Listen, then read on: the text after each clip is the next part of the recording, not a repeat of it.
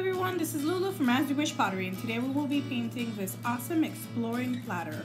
As always, here's our supply list. Feel free to pause this section or gather all your supplies and start along with me. With a pencil, trace the outline of a solid rim plate on the center of your platter. Use a marker to go over the traceable image on the center of your platter. Now we will use the Black Love Fun Writer to outline our letters, outline our designs, and fill in the spaces around the letters and designs. So with the Fun Writer, my suggestion is to always start off by squeezing lightly and kind of moving the paint around with the tip. Just remember um, that one great thing about a Fun Writer is the heavier you squeeze, the darker the color will become. So if you wanted to have really, really nice uh, small lines, all you have to do is squeeze lightly. And if you wanted to have them be a little bit thicker and if you want to fill in more space, just squeeze in a little bit more.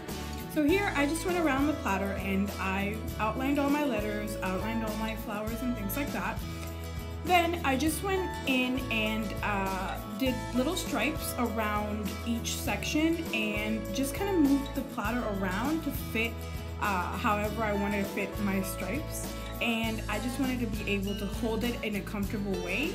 Um, that way I could make sure that all the patterns were fun and different and it didn't seem like I was just going the same direction at all times.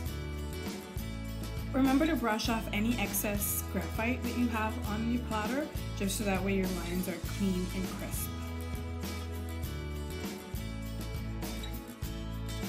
Since we're going to be filling in this whole platter with Fun Writer lines and accents, I highly suggest that you find a way to hold the Fun Writer in a comfortable manner.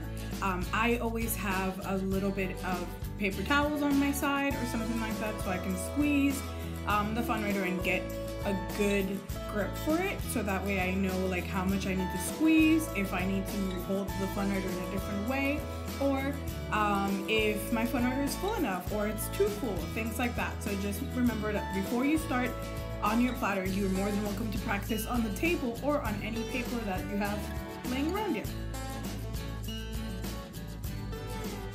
So as you see, I am moving my platter around and I'm filling in the spaces however I feel comfortable.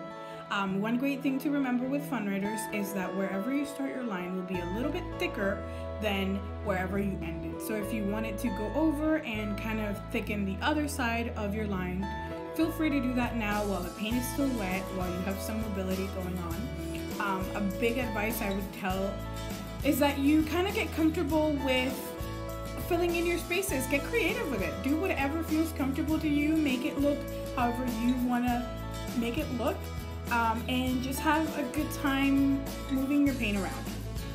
Another advice I would say too is if you make a mistake, if you smudge paint or anything like that, just let it dry really well. Yes, this is black, so it will stain, so we just have to make sure that we let it dry really well. That way we can erase it off with the with an eraser and sand it off if needed be. Luckily, I smudged a little and I didn't have to do that. I just had to wait for it to dry and erase it with an eraser so that made it really easy for me. So I always suggest that whenever you make mistakes, just let them dry and you can erase pretty much anything and everything.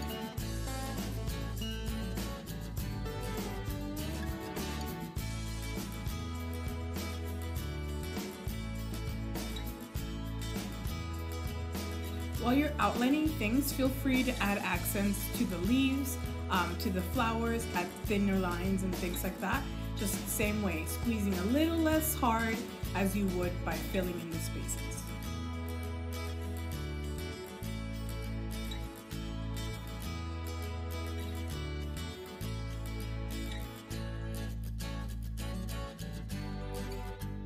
Now we will use the uh, Blue Heaven Fun Writer to fill in the letters. Feel free to make some dashes, add some accents, do whatever you'd like to do. Just keep in mind you don't have to use Blue Heaven. You can use any color that you'd like. One great thing is that black goes well with any color. I just felt like this color uh, was a very summery color and it just made the platter pop for me. But if you want to add another color, go for it. Do something bright and have fun with it.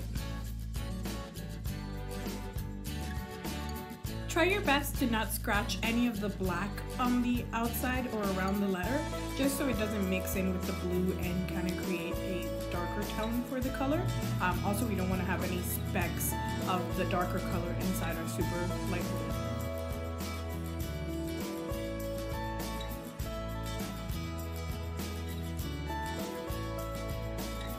Lastly, we will use Blue Heaven paint in a long detail brush to paint stripes around our rim. So with this effect, I always suggest that you dip your brush in paint every time you're about to make a line and that you press your brush down to the piece and then lift up as you are finishing to create that thick to thin effect.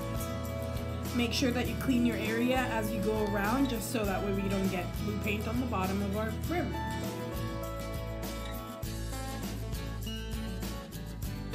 These lines always look best for me when I do them away from myself, um, but I've seen a lot of people do them different ways, so just find the way that feels more comfortable for you and do it that way.